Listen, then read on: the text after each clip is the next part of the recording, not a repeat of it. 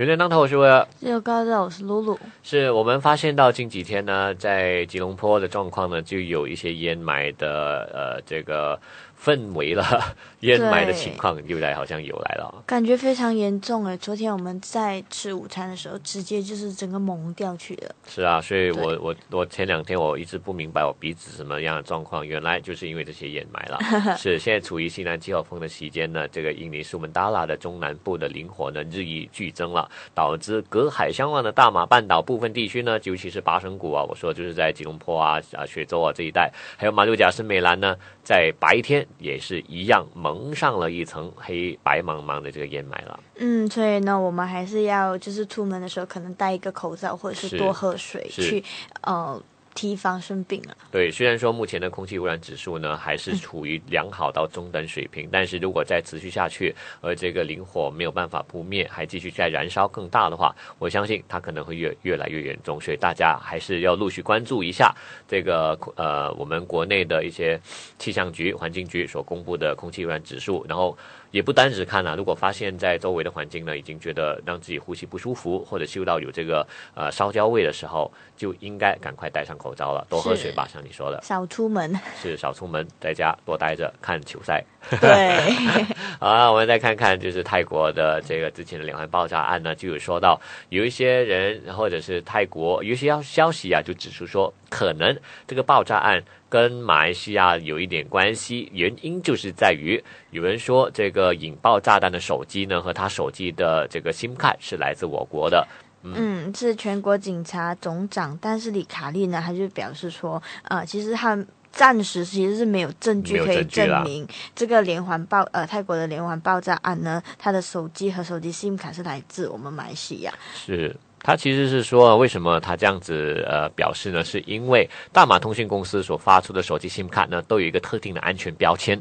但是如果说你用来引爆炸弹的手机，那个手机内发现的 SIM 卡啊是没有这个安全标签的特征的，所以他也检查了这个手机的 SIM 卡的手机，呃，只是呢没有足够证据，像你说的，说明这个手机和 SIM 卡就是来自马来西亚。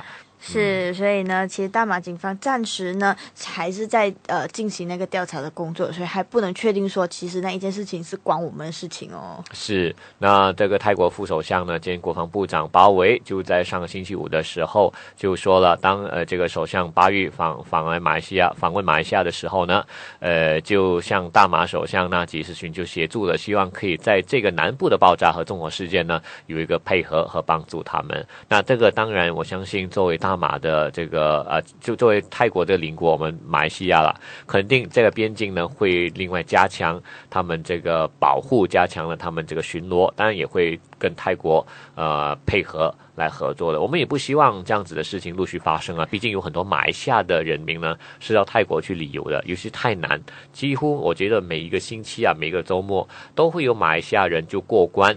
到这个太南去旅行了，或者短短期旅游。对，所以怎么样还是要小心一点吧。我们但是有时候就是不能。避免的时候，就还是我们还是待在家里看球赛呗。还是反正是奥运会很多东西要看了。对，嗯，那我们再看看这个大马路路公共交通委员会，呃，他们在昨天呢已经公布了十一项的获得那个批准的转型计划，指的是什么转型转型计划呢？就是德式转型计划。那之前呢就有很多问题发生嘛，关于这个 Uber 啊、Grab Car，就是这种私人出租车的这个问题啊，让德式司机很不。满就觉得说，哎，你这个是剥夺了我们的生意，抢了我们的生计，我们应该怎么生存呢？甚至有有一些消息啊，在在社交媒体就播了出来，看到说有些人无故挨打。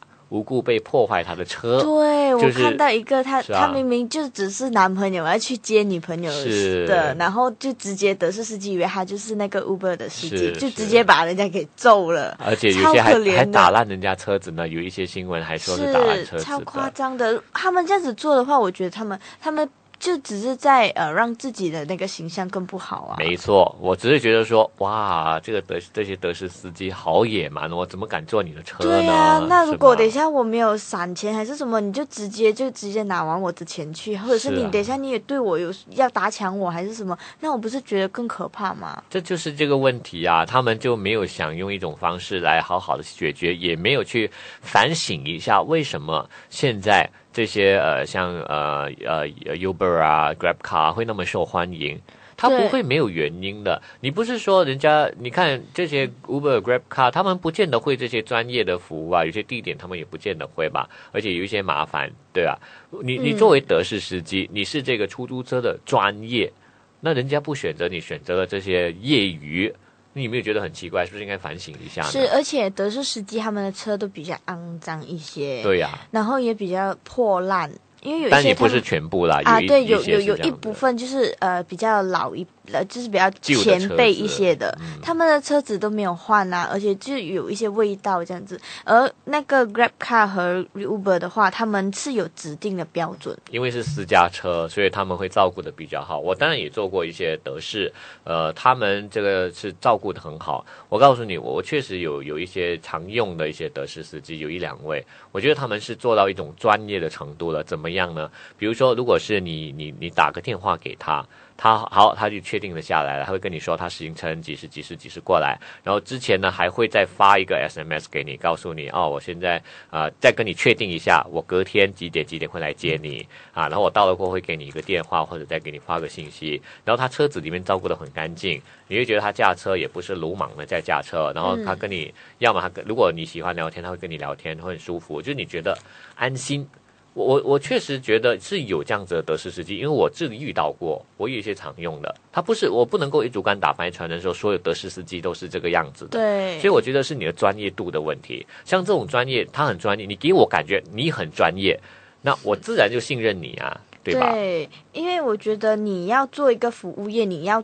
你就是要服务好你的客人，没错。而且如果你把你的车子弄得比较肮脏，你没有去照顾的话，人家坐了会觉得不舒服，然后他们就会抗拒了。所以现在这么多人都选不选择德式的是原因，我觉得一部分也是有在于这里吧。是他们自己要检讨了。那目前为止呢，这个德式转型计划呢有十一项的转型计划，总共分成四个四个不同的呃项目，呃不是项目了，四个不同的 category。这四个 category 里面组四个组别里面。可以个别分成了不同的这个项目了，包括。第一个这个呢，有通过科技改善服务。那这个通过科技改善服务呢，主要还是在于管制电子招车服务这一块，就希望可能能够跟 Uber 或者是跟这 Grab Car 可能有一个竞争吧。毕竟 Uber、Grab Car 都是用电子招车啊，对不对？对。所以它通过这个来改善了。那另外一个这个组别呢，就是包括改善德士司机的收入和福利，就包括提升标准化德士租借条例啊，让德士司机可以通过一些价值，像包括五五百定五千令节奖金啊。转型为拥有个人得失执照等等等等，这些都是有，还包括 KPI，我觉得这个很重要。KPI 就是一个绩效制度，今天可以让你们评定你。像 Uber，它有确实有这样子的评啊评啊评估制度。今天。今天我做了这个 Uber 过后，我就要评这个司机怎么样，然后司机也要评客户啊。而且你的那个 rate 越高的话，你会有特别的 bonus 给你的。对，没错。所以你看，这种改进是很好的。那除了这个之外呢，另外两个就是他们自己应该要要理理解了，就是说改善德士司机的服务素质啊。他们还要开办德士在这在尽职的那个课程，让德士司机提升自己吧，对不对？你你觉得会有德士司机要上吗？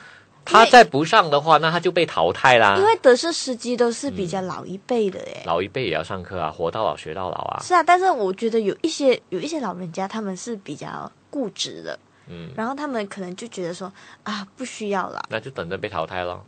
真的啊，就等着被淘汰。我那天才看了一个视频啊，这是题外话，嗯，就有一个那个你记得有一个白发苍苍的老模特儿吗？就在近期，好像在中国吧，应该是中国的一个模特儿。人家说他是最最帅的老模特啊，就是他他确实是七十多岁了，还走 T 台的，然后长头发的白发的，他就有做了一个访问。他这个访问就说，其实他是在四十多还是五十多岁才开，之前呢都是无房无车，什么都没有，一事无成，然后都是一个就看起来是一个失败的人。他他不他不甘愿放弃，他还是不断的努力，只是运气对他不好，然后他就不断的去呃想办法，包括健身啊，然后那些啊，让自己活得健康，尽量做好自己喜欢的事情。他是一名艺术家，啊，他是一名行为艺术家，然后后来就慢慢的、慢慢的在呃有了这个一些机会，人家注意到他了，然后就有一次，就某一些呃这个服装公司啊那些要找这样这样类型的，就找上了他。那结果就一炮而红了，让人家看到，因为他他身材算还好的，而且很有很有那个模特的感觉，模特的味道，而且整个样子都很好，所以他他想表示的一个点就是说，其实人。不要怕老，也不要怕受年龄限制。你永你什么时候开始都不会太迟。是你让我想到的是那个 KFC 的创办人啊，对他也是因他也是因为呃受过很多挫折，就可能呃老婆也跑掉啦，然后也破产过啊。到到最后好像是在八十多九十岁的时候，他他才创办了这个 KFC，不是吗？他也没有放弃啊。是你也别说到那么远，就说马来西亚就有我们的 Uncle Lim 了，我们林悟桐先生，是他也是这么成功啊。就变成大马赌王去了。是他也是很迟很迟，大概五十多岁吧，才创立了这个云顶，才开始开发这个云顶。那时候都已经算是老人家五六十岁，对不对？人家已经算是退休人士了。那个时候他还没有放弃啊，一直在做。那当然，他有他的背后的一些呃团队啊，团队啊。那个时候他也有了一些资金啦，这些都是为之前已经建立下来的。只是我想说，如果他没做，他也不会这样成功啊。嗯，所以今天的这个东西呢，给我们一个启示。像你刚才提到，老了不学了，其实。老了还更需要学，好，那看到还有第四个，我们刚才没讲到，第四个主编就是这个德式呢，它需要合理化它的收费。你只要合理化它的收费，你让人觉得说就比较舒服了。因为一些电子招车呢，它确实比较便宜，我做了比较。而且这种德式司机他们很喜欢乱乱算价钱。对呀，你即使那个计程车的那个表啊，我都觉得贵了。我那天就试了一次，就是在呃这个古中城。然后就搭车子到了这个哪里去呢？就呃，这个叫什么呃，Auckland Road 的其中其中一个点上。其实古中城就是 Mid Valley 到 Auckland Road 的这个距离不是太远，但是我竟然花了接近二十块钱。怎么可以？跳表的，啊跳表的，啊没他他不是乱收。他他现在一上车是三块钱，对对？然后他还有就是说有那个啊，他每一次掉就是二十五 cent。但是跳的好快，我也不懂是怎么样，超快的哦，一下就跳，一下就跳，啊，莫名其妙就突然跳了这个十多十多，呃，还没有到二十啦，就十多块了。我觉得哇，那么近的距离，不是太远的，而且也不会太堵车。我觉得，但是晚上了，晚上有巴士啊。我因为我不知道几号车去到那一边，你看可以去巴士车站，然后那里有一个牌，他会跟你说的，要不然你就上网查一查呗。可能要转车就麻烦了，对不对？不用转车，如果你是从 m i v a l y 去 OK。你看，这个就代表了一件事情：我们马来西亚公共交通系统呢，你你可能第一不不是那么的太完善，第二它的让人家知道的这个讯息不足够，人家也不懂怎么去找这个资讯。我真的去看，哎，也不懂在哪里呀。就我只好打德士了，因为那个时候现在的公共公共交通已经是很方便了，所以可能嗯选择不开车的真的是可以尝试用，就是德士啊，或者是 Uber、Grab 卡这一些公共交通，这也可以啊，就是让让他们有有生意啊，然后你也可以在同时间，你就可能可以做自己的事情，或者是好好的休息一下。嗯，这个可能也是一个好的方式吧。那说到这样子的转型计划之外，我们还有的就是，呃，这个呃，首相呢也提到了哈，之前在政府的蓝海政策策略下呢，积极落实的其他的改革计划呢，也为国家节省了一个庞庞大的开支，节省了数十亿令吉的开支啊。呃，只是说这些节省下来呢，我相信对于很多关注这个一马公司的消息的。还是在会说风凉话的啦，你省下这些什么作用，到最后还是那钱不够补回去那些洞啊，一大堆这样子的说法，所以所以这个也没没没太大的这个论点在，因为你无论放了什么一些比较正面的消息呢，很多在民众的呃眼中呢，都还是这个 YMDB 永远没有没有解决的话，你这些都是没有作用的。是因为，因为他他们要的就是一个解释啊。当你没有给解释的时候，不管你做什么都是错的。嗯，对啊。那除了这个之外，我们再转一个焦点看看吧。啊，这个移民局啊，就有之前不是说了吗？呃，有一项指南，就是不穆斯林呢是不可以聘请非穆斯林女佣的。但是呢，他这个移民局的总监呢，他就强调说，这个不是一个规定，不是一个硬性的规定，只是一个指南，就是说你可以不跟。你有选择性，你有选择。你是穆斯林的话，那你要聘请一名非穆斯林的这个佣人的话，那你自己就要符合这个指南呢，或者是你自己要呃有一些东西你自己要要怎么说呢？要自己注意一点哦。比如说在吃方面，在处理一些东西方面，因为穆斯林很多你需要清真的嘛。那如果今天你是非穆斯林的话，你对于清真的条例你不熟悉，它的这个呃整个程序你也不熟悉，那你可能会令到穆斯林不太方便。